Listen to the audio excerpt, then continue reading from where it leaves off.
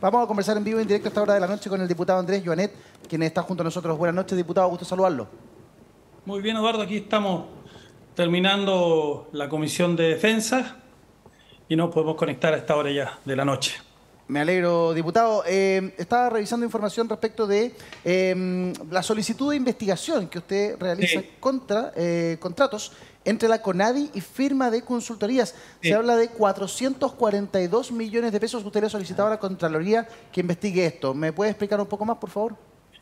Bueno, sí, pero yo escuché un poco lo que ustedes estaban discutiendo y por tanto yo quisiera aclararle un tema a quienes están hablando. Yo también soy de la oposición, pero soy una persona de centro izquierda y cuando quieran, quien quiera debatir respecto al tema ideológico conmigo no tengo ningún problema porque además escribí este librito que se llama Golpe al Estado del Octubre chileno, justamente que en alguna de esas partes, entre todas las 350 páginas y 450 y tantas citas a pie de página, este libro de ciencia política que explica el pseudo estallido social, eh, en este contexto, eh, justamente yo hablo en contra de la acusación constitucional contra el presidente Piñera. Y fue súper claro. Mm. Yo en general estoy en contra de las acusaciones constitucionales, pero en esta, en esta lo estoy leyendo muy de cerca. Respecto además ya, que entramos en materia, diputado, eh, usted declaró que no, tenía certeza de que lo que iba a votar mañana. ¿Cierto? Que, Mira, ahí está, ahí está, ahí está la declaración. Estoy pensándolo bastante porque creo que es un mal ministro, de lo peorcito que tenemos, pero lo está pensando. Eh, no lo estoy pensando, lo estoy estudiando. Todos estos días, de verdad, todos estos días he estado trabajando en todos estos hechos fieros irregulares que he observado en la CONADI, donde se han agregado uno nuevo, donde se de, de, dineros que se le, se le habrían adjudicado a una consultoría al señor Marileo, que es la pareja, la señora Cachileo, que la señora Cachileo asesora del Ministerio de Desarrollo Social, que fue eh, también constituyente en el periodo anterior, pero, y por tanto está buscando eso. Pero en fin, como estado en eso, eh, hoy día eh, llevo ya dos capítulos, espero leerme los siete capítulos esta noche para mañana tomar una decisión como corresponde en derecho, pero también es una decisión política. ¿Pero por qué te crees que el ministro Ávila es de lo peorcito que tenemos? ¿Me podría explicar aquello? ¿Sabe por qué? Mire, yo le voy a explicar una cosa. Hoy día tenemos no una crisis, es una catástrofe en materia de educación.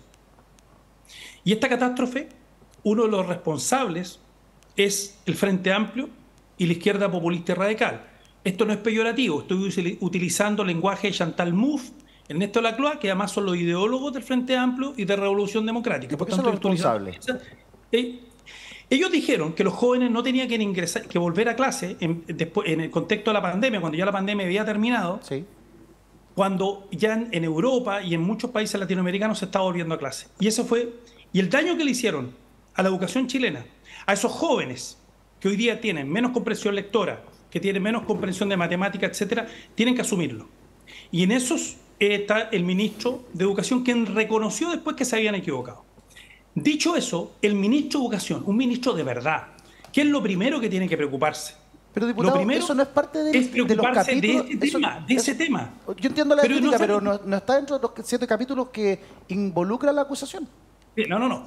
Yo estoy, yo, yo estoy, yo estoy efectivamente respondiendo, eh, Eduardo, lo que tú me, que... tú me preguntaste por qué, tú me hiciste una pregunta y yo te estoy respondiendo por eso. Porque el ministro el ministro, en vez de preocuparse de tantas agendas, tenía que haberse concentrado en una cosa. Es como cuando digo el gobierno. El gobierno tiene mucha agenda. Pero ¿cuál es la agenda central? La seguridad. Mm. Esa es la agenda del gobierno. Esa es la agenda 100% que tiene que estar el gobierno, independiente que hoy día hay otros problemas. Porque si resolvemos el tema de la seguridad, podríamos, nos podría ayudar a resolver otros problemas. ¿Qué es lo que tiene que hacer un ministro de verdad, un ministro de, de un gran ministro? Es preocuparse si saben que vamos a hacer un gran plan nacional para que en definitiva nivelar a los jóvenes. Me explico, por ejemplo, vamos a cortar las vacaciones 15 días, aunque el colegio de profesores se ponga de cabeza, vamos a cortar las vacaciones para que nivelemos a los jóvenes, porque si no, el daño que le vamos a hacer en términos futuros a esos jóvenes eh, es tremendo. Y en eso no ha estado el ministro de Educación. Por eso digo lo que digo, ¿no? Porque el ministro ha estado más preocupado de agendas que son importantes, pero no trascendentes. Lo trascendente es el daño que se le hizo a los jóvenes de este país eh, no ingresando a las aulas cuando correspondía. Ingresaron los jóvenes de los colegios privados. No te, no te olvides, Eduardo, que los jóvenes de los colegios privados ingresaron mucho antes que los jóvenes de, escuelas públicas. Te lo dice alguien que estudió en escuela pública ¿ah? y en liceo público y en universidad pública. Por tanto, eh, sabe perfectamente lo que habla. Y el daño que le hicimos a la educación pública se le hizo fundamentalmente gente como el ministro de Educación en su momento y después a no haber tomado este tema. Como de fondo, como lo quería decir. Mauricio Daza está aquí conmigo, también quiere hablar con usted, diputado. Adelante, Mauricio. Diputado, muchas gracias por acompañarnos esta noche en tiempos violentos. Eh, bueno, en este contexto de la acusación constitucional en contra del ministro se han levantado algunas voces que han eh, destacado ¿no? el tema de la orientación sexual del ministro Ávila. Eh, ¿Usted qué opina de esas declaraciones? ¿Cree que efectivamente algo relevante pudo haber tenido alguna incidencia o no en las conductas que se le atribuyen ¿no? al ministro? Em, me gustaría conocer su opinión al respecto. No, yo te quiero ser súper claro y directo. El gobierno no puede instrumentalizar temas delicados e importantes como estos para blindar la ineficiencia. Eso es el tema de fondo.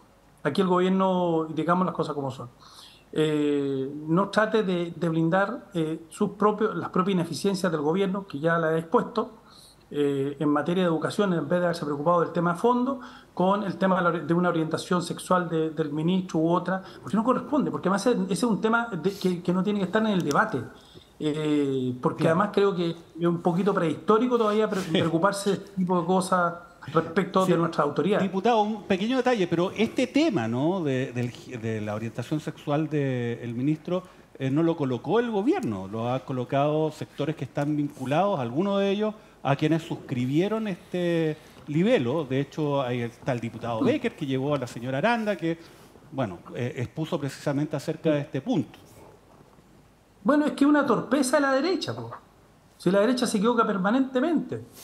Eh, es como cuando yo le, critico a la izquierda populista radical que le entregaron el tema de la seguridad a la derecha, cuando finalmente el tema de la seguridad finalmente afecta a los más carenciados. Mm. Y en este tema eh, se, lo entregaron en bandeja, en bandeja porque en el fondo eh, eso es la, es la torpeza, porque es no entender en qué época estamos, en que hoy día vivimos en una, en una sociedad que no solo tiene que ser tolerante, sino que aceptar. más que tolerante, aceptar efectivamente eh, este tipo de cosas como con la naturalidad que tiene que, existir en nuestra sociedad. Pues, estos temas. Diputado, No, nos quedan muy, muy escasos segundos, pero no quiero dejar pasar la oportunidad de, que nos explique bien esta, esta solicitud de investigación a la Contraloría para esta consultora Chicagual Limitada. Ahí está justamente el titular en pantalla. Pues son más de son 442 millones en, lo puntual. Desde la CONADI a una consultora creada en el mes de febrero. Explíqueme un poquito. Primero de febrero de 2023 y su primer contrato de 80 millones de pesos,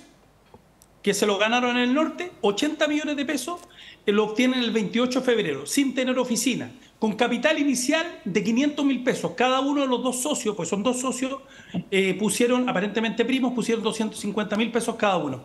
Eso me parece, eh, y, en cinco meses, en cinco meses han aumentado su capital en un 40 mil por ciento. Hoy día tienen 400, su capital llega a 444 millones de pesos eh, en proyectos. Y ellos dicen, bueno, es que hemos sido los únicos oferentes. Mira qué raro, ¿ah? Entonces yo esto ya lo he presentado a la Contraloría, mañana me junto nuevamente con el Contralor, el jueves junto con, el, con la Fiscalía, con el fiscal regional, porque creo que este tipo de situaciones que ahora se suma a una que hizo eh, el, portal eh, Interferencia, en que, a, como dije, a, la pareja, señor Marileo, que, que la pareja, señora Catrileo, se le eh, habrían eh, entregado también 300, 300 millones de pesos. Estamos hablando de cifras mayores en que hoy día están saliendo a la cola. Eso es lo que yo no solo he denunciado, sino que voy a perseguir, porque me parece que este escándalo es superior al de la democracia viva. Porque además, de, permítame terminar con esto, Eduardo. En el caso de democracia viva, le metieron las manos en los bolsillos a los pobladores del norte. Y si esto efectivamente se comprueba como yo estoy viendo, que puede efectivamente hay elementos de corrupción, le están metiendo las manos en los bolsillos del pueblo mapuche. Y eso yo no lo voy a aceptar. Muy bien. Diputado Andrés Joanet, de Amarillos, eh, ahí está justamente lo que hace ilusión usted respecto de, lo que publica Interferencia, ¿cierto? Ex candidato a consejero y pareja de Rosa um, Catrileo, asesora de asuntos indígenas de desarrollo social, ganó una licitación de CONAI por 80 millones de pesos. Si sube un poquitito, te, das cuenta que abajo están los 299 millones. No son 300, así la Contraloría no puede no puede observarlo, fíjate. Eso, exactamente, las famosas 5.000 eh, UTM, ¿no?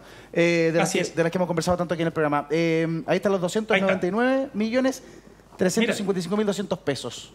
increíble. Vamos a estar muy atentos a la evolución de esta información que usted denuncia, diputado, y a lo que pueda hacer la Contraloría, toda vez que el Contralor esta mañana estuvo en el Congreso y, mostró un poco las falencias que existen para supervisar los dineros públicos que terminan en, en, bolsillos eh, de, del sector eh, civil, ¿cierto? Privado. Eh, gracias, diputado. Buenas noches, que esté bien. Chao. Nos vemos. Un saludo a todos.